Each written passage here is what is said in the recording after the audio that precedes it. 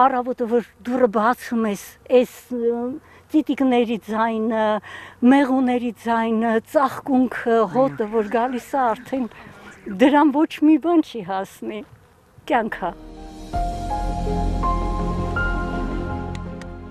Կյանքը բնության մեջ վերագտած այգեգ գյուղի 68-ամյա բնակչուհին երկու դուստրերին մեծացրել է, թորնիկներ ունի, հիմա ասում է, այգուն ու բնությանը նվիրվելու ժամանակն է։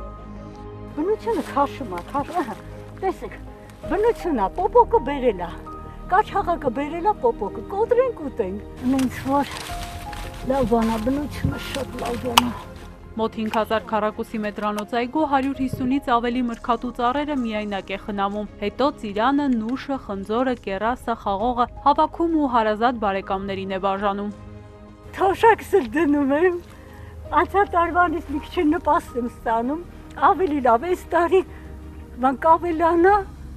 Էդ էլ կօգնեմ բան կդնեմ։ Չէ, շատ է ծախսը։ Շատ շատ է ծախսը։ Եթե չծախսես, չես կարա պահես այգին չես կարա։ Ուղղակի չես կարողանում վաճառել, չի ստացվում։ Ծառերն ամենօրյա աշխատանք ու հատուկ խնամք են պահանջում։ Վաղ առավոտից մինչև ուշ երեկո։ Հակառակ դեպքում բերք չես ստանա։ Բոլորը ծաղիկ է, եթե ես կամ ծաղիկը բերք բռնի, նախ մանր կլինի։ Հետո առողջ չի լինի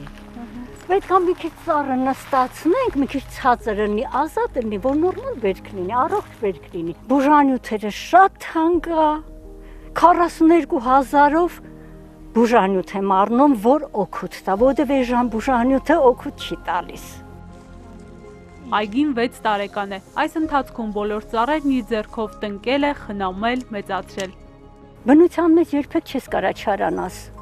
Երբեք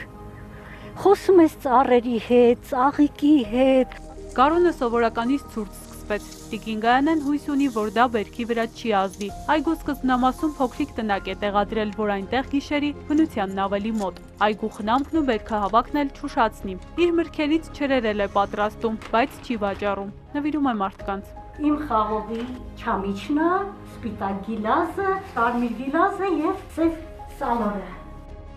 Խաղաղություն է ցանկանում աշխարհին Տիկին Գայանեն, մնացածը վստահ է կլինի։ Լավություն անես գցես ջուրը։